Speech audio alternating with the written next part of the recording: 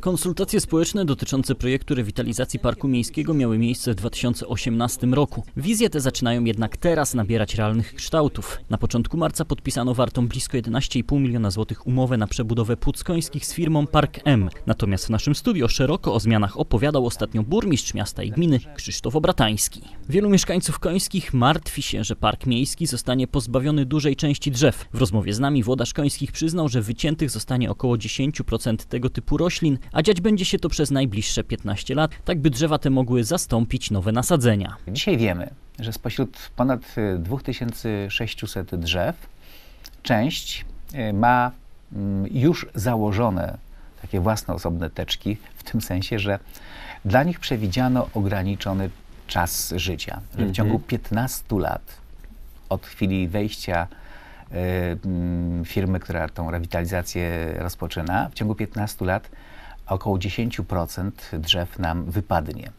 To jest y, sporo, biorąc pod uwagę y, cały drzewostan, natomiast mówimy o perspektywie 15-letniej i o pewnym naturalnym ubytku drzew, które albo są chore, wypróchniałe i stanowią zagrożenie dla innych, albo y, są y, wyrosłe z bardzo słabej jakości sadzonek. Tutaj jako przykład y, mogę podać kilka drzew, które mają rozwidlenia tuż nad ziemią. Dwa lata temu mieliśmy pierwszą taką sytuację, w której widać jak sąsiedztwo drzew, które nie są stabilnie osadzone w gruncie, których system korzeniowy nie jest specjalnie mocny, jak mogą zagrażać y, sąsiedztwu. Kilka y, drzew y, potężnych, wspaniałych, podczas nawet nie specjalnie wielkiej, silnej wichury mm, legło. Y, To, to są drzewa, które jako wiatrołomy y, spadły na zabudowania przy ulicy Zamkowej. Y, Szczęśliwy traf spowodował, że one tylko mm, naruszyły, uszkodziły ogrodzenie, spadły na parking wewnętrzny y, i tam zdaje się, że szkody były stosunkowo niewielkie, ograniczone. Zdecydowana większość istniejących drzew pozostanie jednak w parku. Uzupełnić ma je duża ilość niskich nasadzeń. Będą to drzewka ozdobne oraz krzewy. Pozostaną także trawniki, a być może ich ilość będzie większa, tak by konecczanie mogli wybrać wypoczynek w piknikowym stylu. Będą tam nasadzenia w niższych partiach. Czego, to, czego nam brakuje, to krzewów, kwiatów, a więc y, tej zieleni niskiej, która jest najbliżej ludzi. Spore zmiany czekają także parkowe trakty spacerowe. Jeżeli chodzi o mm, metry kwadratowe powierzchni, y, to, to y, tych utwardzonych, to one nie będą się znacząco różniły od y, tego, co jest obecnie. Natomiast będą nieco inne przebiegi i inne nawierzchnie na tych alejkach. Dwie główne aleje przecinające park będą kompletnie przebudowane. Jedna pozostanie taką drogą serwisową, e, drogą, która będzie umożliwiała zaopatrzenie, ale też e, będzie dawała dostęp maszyn, urządzeń służących do utrzymania parku. To jest ta droga asfaltowa na osi wschód-zachód, Od ulicy Zamkowej od ulicy Zamkowej do ulicy Sportowej. Udało nam się uzyskać akceptację konserwatora zabytków dla utrzymania nawierzchni asfaltowej. Będzie ona jednak kompletnie przebudowana, bo ten asfalt jest straszliwie zniszczony.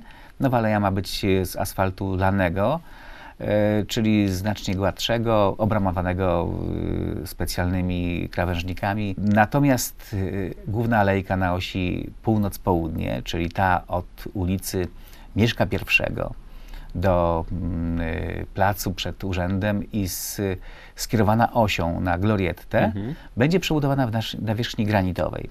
I tutaj mamy chyba najwięcej pracy do wykonania. Na całym że, ciągu? tak, Tak. tak. Mhm.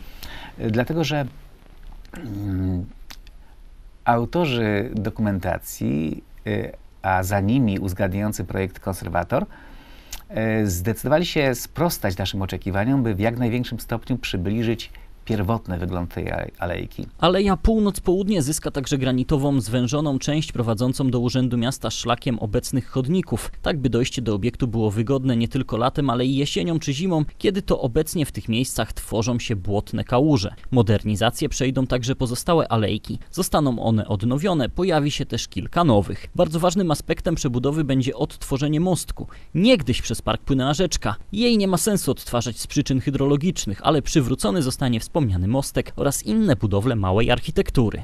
Przez park przepływała rzeczka, strumyk, kanał, e, nazywany popularnie Nilem. Próba przywrócenia mm, czegoś, co byłoby przypominało tylko mm, taki Nil, y, no byłaby myślę, że bardzo ryzykowna. Tam y, odtwarzamy aleję, odtwarzamy most z jego elementami żeliwnymi, które Mhm. stanowiły urodzie.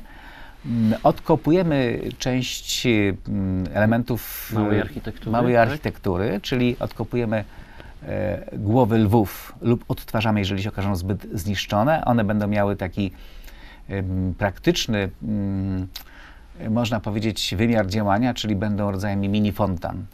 Y, Ale, ale y, nie będą początkiem ani końcem y, rzeki, czy Nilu, czy kanału, jakkolwiek byśmy go nie Mhm. nazwali. Roboty w Parku Miejskim w Końskich mają być zakończone do połowy grudnia 2022 roku. Ich koszt to wspomniane blisko 11,5 miliona złotych, a aż 7,5 miliona z tej kwoty pochodzi z funduszy Unii Europejskiej.